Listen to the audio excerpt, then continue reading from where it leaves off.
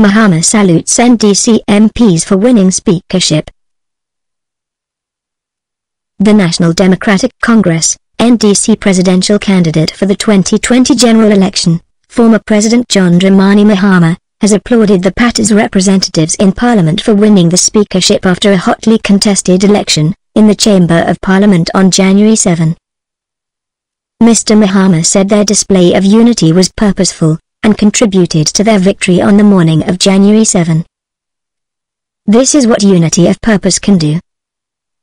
They say divided we fall, and that there is no force that can defeat a people who are together and are united, and have a single purpose, Mr. Mahama said.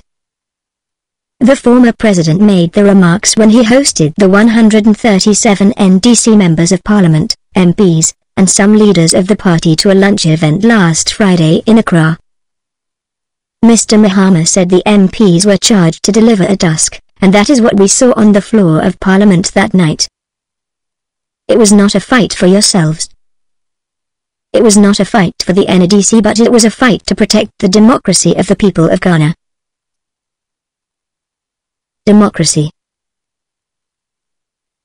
Mr. Mahama noted that the chaotic manner in which the election of the Speaker of Parliament was conducted, was a testament to how low the country's democracy had sunk. He said the snatching of ballot papers and the invasion of the Chamber of Parliament by armed military men, had made the country look like a banana republic. It makes us look like a banana republic.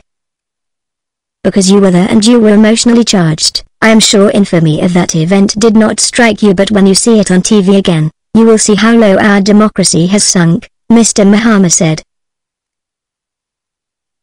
Appreciation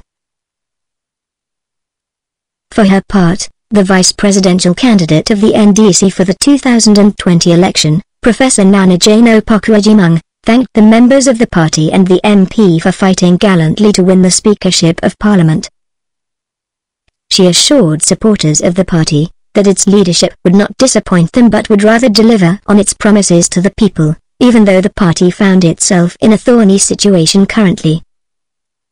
Let me specifically thank our voters, those who have put their trust in us, and those who know that we will deliver. I know we will not betray their trust, but just so they know we will deliver regardless of where we are, regardless of what is ahead of us. You have all fought a good fight and the fight has not been just by yourselves but by your family, by your friends, by the voters, and well wishes even from the other side but I will not be complete if I do not, with all apologies, single out the female parliamentarians, she said. No permission. Meanwhile, the leader of the NDC caucus in Parliament, Mr. Haruna Iddrisu, revealed at the lunch get-together that the decision for all 137 NDC MPs to vote for the Speaker of Parliament, Right Honourable Alban Bagbin, was collectively taken with the leadership of the party well ahead of the night of voting. The decision was taken collectively in this room that we vote Mr. Alban Bagbin. God stood with the party and God stood with John Dramani Mahama, he said. Mr. Iddrisu said the NDC MP for the Asawase constituency, Mr. Mubarak Muntaka who was seen on Live TV physically protecting the balloting process, and later seen trashing the NPP MP for Tema West, after the later snatched ballot papers during the counting process did not have his permission. To our MPs I can only say kudos. So, let today be dedicated to Mr. Muntaka. Nagana, Accra.